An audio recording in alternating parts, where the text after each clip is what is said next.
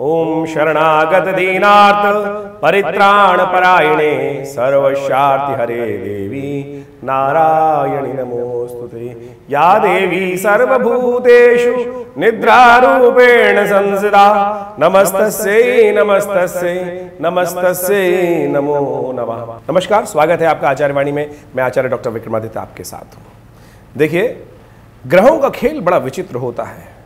जीवन में कभी उत्थान के योग बनते हैं, कभी पतन के योग बनते हैं, कभी हमारे जीवन में कौन सा कब मोड़ कैसा आने वाला है, ये सारा ग्रह के अधीन है। ग्रहों का प्रभाव हम सब किस प्रकार से जाने, उसके लिए ज्योतिष विज्ञान की संरचना हमारे ऋषि मुनियों ने करी। तो आज हम उपस्थित हैं आपके समक्ष। कर्क राशि वालों के लिए आने वाले ये जो विशेष तौर पर मई के मध्यस्थ दस दिन हैं, वो कैसे रहने वाले हैं? हम 10-10 दिन के राशिफल आपको समक्ष उपस्थित करते रहते हैं। तो आज हम उपस्थित हैं, खासतौर पर कर्क राशि वालों के लिए 11 मई से लेकर, विशेष तौर पर आप समझें 20 तारीख तक का समय कैसा है? देखिए, ग्रहों की गणना के अनुसार से यदि हम समझने का प्रयास करें तो यह समय आपके लिए बड़ा अच्छा दिखाई देता है। सफलता के लिए, कार्य करने के लिए यदि आप तटस्थ होकर कार्य करेंगे तो अवश्य सफलता के अद्भुत योग बन सकते हैं। राजयोग बनता दिखाई दे रहा है। आपके गोचर के अनुसार से शुक्र ग्रह प्रबल होकर जिस प्रकार का योगा योग बना रहा है, वो साफ़ तौर पर दिखाता है। कोई महत्वपूर्ण आपके लिए योग बन सकता है। लेकिन मन में कुछ अजीब प्रकार की स्थिति बन सकती है, क्योंकि जो मंगल हैं, वो कर्क राशि में आ गए हैं, जो आपके लग्नस्थ स्थित हैं और शनि के साथ षडाष्टक योग बना रहे हैं तो इससे आपको सावधान रहने की ज़रूरत है। यदि आप इसके लिए कुछ उपाय कर लें, कैसे उपाय करने हैं कब करने हैं वो भी हम खास बताने वाले हैं। इन दिनों में कुछ खास योग भी बनने वाले हैं, जो विशेष तौर पर ऐसे सिद्ध मुहूर्त रहेंगे कि जिसमें जो शनि के, जो मंगल के द्वारा शनि को भी खराब करने का कार्य किया जा रहा है, उसको आप कैसे ठीक कर सकते हैं? वो सारी बातें हम आपको बताएँगे। आप उसका लाभ ले सकते हैं। सबसे पहले बात कर लेते हैं 11 मई की। 11 मई के दिन कैसा रहेगा भाग्य का राशि फल देखिए 11 मई के दिन सबसे पहले पंचांग समझें। गुरुवार का अवसर है, ज्येष्ठ का महीना चल रहा है जेठ का, और षष्ठी तिथि विद्यमान है। और ग्रहों का योगा योग साफ़ दिखाता है कि आपके लिए आगे बढ़ने के योग बन पाएँगे, आपके मन के अनुसार आप काम करेंगे, मन की बात सुनकर काम करेंगे। और साथ साथ इंट्यूशन को यदि महत्व देंगे, मन शांत होगा तभी मन की बात समझ सकते हैं, क्योंकि मन में कई प्रकार के विचार उत्पन्न होते हैं। और ऐसे में मन में जो बात आ रही है, उसको आपको इशारा समझना भी पड़ेगा, क्योंकि मन के अंदर परमात्मा का वास भी होता है। आपके जो उसके अंदर तो उसमें कोशिश ये करें आपके जो मन के स्वरूप, चंद्रमा जो मन में इशारा दे रहा है, उसको समझते हुए कार्य करेंगे तो बहुत अच्छे से उसका लाभ मिल सकता है। तो इसलिए इशारे को, परमात्मा के इशारे को समझते हुए कार्य करने की ज़रूरत है। बुद्ध उदय हो रहे हैं 11 तारीख को और बुद्ध उदय होने के कारण से आपके कई सारे कार्यों में सफलता के योग बनाएँगे और ख़ासतौर पर कई प्रकार से जो आप कार्य कर रहे हैं, उसको ऑर्गेनाइज वे में आपके करने के योग बन सकते हैं। लेकिन कुछ नया कार्य शुरुआत करना हो तो एक बात सावधान रहेगा उस दिन भद्रा विद्यमान है, सुबह ग्यारह बज के अट्ठाईस मिनट से लेकर बाईस बज के सत्रह मिनट तक भद्रा रहेगी। तो ऐसे में कोशिश ये करें कि इस भद्रा काल में कोई नया कार्य आरंभ ना करें, कोई नया क्रिय विक्रिय ना करें। फिर जैसे कोई घर में गाड़ी लाना है, कुछ लाना है तो उस सबसे बचने का काम करना चाहिए। क्योंकि भद्रा में कोई नया कार्य करना किसी प्रकार भी शुभ नहीं होता, उसमें कई प्रकार के दोष लगते हैं और फिर वो कार्य बहुत दुख भी देते हैं। ऐसा हमने देखने को बहुत बार देखा है ज्योतिष की गणनाओं के अनुसार से। फिर भद्रा शांति करानी पड़ती है। तो कोशिश ये करें, इसका लाभ अवश्य लेने का प्रयास करें, समझ को डेवलप करने का प्रयास करें। बारह मई को देखें तो बारह मई को ग्रहों का योग योग दिखाता है। शुक्रवार है, सप्तमी है और जो कालाष्टमी का योग बना हुआ है। कालाष्टमी, देखिए शुक्र कृष्ण पक्ष की जो अष्टमी होती है, वो साफ़ तौर पे, विशेष तौर पे भगवान शिव की आराधना का अवसर माना जाता है। और चंद्रमा की स्थिति तो वैसे ही आपके अनुकूल चल रही है और आप उसका प्रभाव, लाभ लेते हुए कार्य करने के लिए सक्षम है और बहुत बढ़िया तरीके से। ऐसा दिखाई देता है कि कोई राज्य संबंधित कार्य आप संपादित करने के लिए प्रयास कर सकते हैं और उसका लाभ आपको मिल सकता है।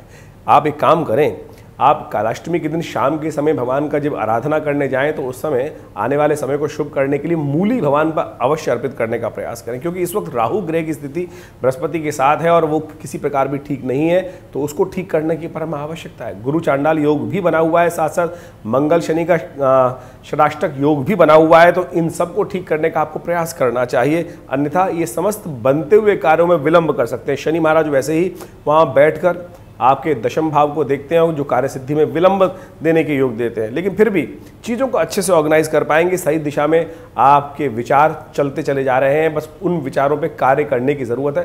थोड़ा देर हो सकता है, लेकिन कार्य में कुछ सफलता प्राप्त करने के योग बन सकते हैं। तेरह मई के ग्रह योगों को समझने का प्रयास करें। तेरह मई को आपके ग्रह योग जो दिखा रहे हैं, वो विशेष तौर पर उस दिन अष्टमी का योग है, उदय तिथि बाद में नौमी आ जाएगी, लेकिन नौमी क्षय हो जाएगी। और शनिवार का अवसर है। देखिए, नौमी का क्षय होना शुभ नहीं है। किसी तिथि का, किसी पक्ष में क्षय होना शुभ नहीं माना जाता। है वो ऐसे में वृद्धि के योग रुक जाते हैं। तो ऐसे में हमें समझना चाहिए, कालांतर में ग्रहों का योगा योग जो दिखा रहा है, पूरे विश्व में किस प्रकार की स्थिति बनी हुई है। ये मंगल और शनि का षडाष्टक योग जो बना हुआ है, विश्व में अशांति का योग बनाता है। और ये कहीं भी आगे आने वाले तीन चार महीनों में भयावह स्थिति उत्पन्न कर सकता है। ऐसे में आपको अपने मन को शांत रखने का प्रयास करना चाहिए। जो ग्रहों का परिवर्तन है, वो भी आपके लिए स्वास्थ्य के लिए कहीं ना कहीं कष्ट देने के योग देता है। तो ऐसे में खासतौर पर जो मौसम का परिवर्तन हो रहा है, उससे अपने स्वास्थ्य का भी विशेष तौर पर ध्यान रखने का आपको प्रयास करना चाहिए। कोई उधार मांगने सुबह सुबह आ सकता है, उससे बचने का प्रयास करें। उधार दिया तो पैसा फंस सकता है, फिर वो झगड़े के कारण से आपको कष्ट देने के योग बनाएगा तो इसलिए सावधानी के साथ काम करने का प्रयास करेंगे तो अच्छे रहेंगे। चौदह मई की ग्रह गणनाओं को समझने, समझें। चौदह मई की ग्रहों की गणना आपकी राशि के अनुसार से कर्क राशि वालों के लिए क्या योग बना रही है, वो भी समझ लें। चौदह मई को पंचांग दिखाता है कि रविवार का अवसर है, दशमी तिथि विद्यमान है और उस दिन ग्रहों की गणना आपके लिए साफ़ तौर पर दिखा रही है कि आपको, आप नए संपर्कों से लाभ हो सकता है। और नए संपर्क आपके लिए कोई महत्वपूर्ण कार्य कर सकते हैं। बड़े लोगों से मिलने का योग बन सकता है, अच्छे लोगों से संबंध, लोगों से मिलने के योग बन सकते हैं। ऐसे में आपको कोशिशें करनी चाहिए छुट्टी का लाभ लेते हुए बड़े लोगों के साथ संपर्क साधने का प्रयास करें, आलस्य में घर ना बैठे रहें। ग्रह योग दिखा रहे हैं कि थोड़े आलसी हो सकते हैं, सामर्थ्य में पीछे रह सकते हैं, छोड़ दो, क्या करना है, गर्मी है, बाद में जाएँगे, ऐसी स्थिति नहीं। कोशिश करें किसी पार्टी में जहाँ का निमंत्रण आपको प्राप्त है, जब वहाँ जाने का प्रयास करें, लोगों से मिलने का प्रयास करें, कुछ नए संपर्क सद सकते हैं और वो आपके लिए कुछ नए रास्ते खोल सकते हैं तो इस बात को आपको समझने का प्रयास करना चाहिए। देखिए, शाम को भद्राकाल है। शाम को करीब करीब पाँच बज के तैंतालीस मिनट पंद्रह, करीब करीब तीन बज के तैंतालीस मिनट के बाद से यहाँ पर भद्राकाल दिखाई देता तो ऐसे में नई चीज़ों का घर में लाना शुभ नहीं रहेगा। नई चीज़ों का खरीद आरंभ करना भी शुभ नहीं दिखाई देता तो उससे बचने का आपको कार्य करना चाहिए। वहीं हम बात करें पंद्रह मई की। पंद्रह मई की तिथि बहुत ही विशेष है। कई ग्रहों का परिवर्तन है। सूर्य परिवर्तन की तरफ़ जा रहे हैं तो कर्क राशि वालों आपके लिए जो ग्रहों की गणना दिखाई देती है, वो इस प्रकार से है। उस दिन सोमवार है, एकादशी है, अपरा एकादशी है। ज्येष्ठ मास में आने वाली कृष्ण कृष्ण पक्ष की जो एकादशी होती है, उसको अपरा एकादशी कहा जाता है। भगवान विष्णु का सेवन स्तवन करने का बहुत सुंदर दिवस साथ साथ एकादशी के दिन सूर्य भी परिवर्तन की तरफ़ जा रहे हैं। वृषभ राशि में प्रवेश करेंगे सुबह ग्यारह बज के पैंतालीस मिनट पर। और साथ साथ बुद्ध भी मार्गी होंगे। और ये आपके लिए बड़े पॉजिटिव साइन है। बुद्ध का मार्गी होना, सूर्य का एकादशवें भाव में जाना सूर्य का एकादशवें भाव में जाना, संतान की तरफ़ से कुछ कष्ट होने के योग दिखाई देते हैं। संतान के स्वास्थ्य का आपको ध्यान रखने की ज़रूरत दिखाई देती है। एक महीने तक यहाँ चलेंगे। संतान के पक्ष की तरफ़ से कुछ वाद विवाद या अननेसेसरी कॉन्फ्लिक्ट होने के योग दिखाई देते हैं शांति के साथ। आप कोशिश ये करें, समस्त प्यार प्यार से बात करके समझाने का प्रयास करेंगे तो बहुत सुंदर रहेगा। अन्यथा कुछ ना कुछ आपके ग्रह संतान के लिए भारी दिखाई देते हैं आने वाले समय में। लेकिन साथ साथ चंद्रमा का परिवर्तन हो रहा है, वो बहुत शुभ रहेगा। चंद्रमा का परिवर्तन मीन राशि में जाना तीन बज के सत्ताईस मिनट पर ऑल शुरुआत में हो जाएगा। तो ये दिखाता है कि आपके भाग्य से अच्छे कार्य आपके द्वारा संपादित हो सकते हैं। धर्म के प्रति आपकी जो इच्छा है, वो जाग सकती है। और धार्मिक परंपराओं में, धार्मिक रीतियों में आपका विश्वास उदय हो सकता है। ये आपके बहुत सारे कष्टों को दूर करने के योग बना सकता है। और सफलता देने के योग बना सकता है। तो इसका सदमार्ग पे उपाय करते हुए आप यदि लाभ लेंगे तो बहुत अच्छा। देखिए, सोमवार का अवसर है, एकादशी है। ऐसे में चावल का सेवन ना करें, चावल का दान करें तो आपके लिए शुभ रहेगा। 16 मई के लिए ग्रहों की गणना दिखाती है कि आपके लिए आज भी वातावरण धार्मिक रहेगा, धर्म के द्वारा, अच्छे कार्यों के द्वारा आपको लाभ मिल सकता है और खास तौर पर आपका कोई मित्र बड़े रूप से आपका सहयोग उत्पन्न प्राप्ति करा सकता है। कोई बड़ा व्यक्ति, बड़ा लो व्यक्ति आपके साथ मिलकर कोई कार्य अच्छा कर सकता है, उसका सहयोग आपको प्राप्त होगा, उससे लाभ प्राप्त होगा। देखिए, मंगलवार का अवसर है। तो कर्क राशि वालों, विशेष तौर पे आप समझ लो। देखिए, ये ज्येष्ठ का मंगलवार है। ज्येष्ठ का जो मंगलवार पड़ रहा है दूसरा मंगलवार पड़ रहा है। बुढ़वा, इसको कहा जाता है, जो विशेष तौर पर मंगल।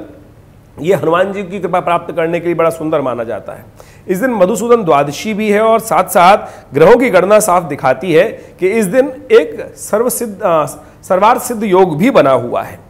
सुबह पाँच बज के चौंतीस मिनट से लेकर शाम को करीब करीब सुबह आठ बज के पंद्रह मिनट तक का मुहूर्त बड़ा शुभ है। कोई नया कार्य आरंभ करना हो तो इस मुहूर्त का लाभ ले सकते हैं और कोशिश करें, हनुमान जी की आराधना अवश्य करें। देखिए, मंगल और शनि का षडाष्टक योग पुनः समझा दूँ और बुढ़वा मंगल के दिन बाई चांस देव योग से योग बना है कि जब मंगल अशुभ स्थिति में चले गए शीर्ण हो गए तो ऐसे में हनुमान जी कृपा प्राप्त करके आप मंगल के तमाम नेगेटिव प्रभावों को दूर कर सकते हो। एक बात ध्यान रखना, गलत काम करना व्यवचार करना आ, किसी भी प्रकार के एडिक्शन में फंसना या कोई भी अन, अन, आ, जो अधार्मिक कार्य करना वो आपके लिए ठीक नहीं रहेगा क्योंकि मंगल आपको और ज़्यादा शनि के प्रभाव से ग्रसित कर देगा कष्ट दे देगा स्वास्थ्य पर भी अनुकूल प्रभाव नहीं पड़ेगा तो इससे बचते हुए कार्य करने की ज़रूरत है। अच्छा ये रहेगा हनुमान जी के मंदिर में जाकर आप हनुमान चालीसा का पाठ करें हनुमान जी को चोला चढ़ाएँ तो ये अच्छा रहेगा।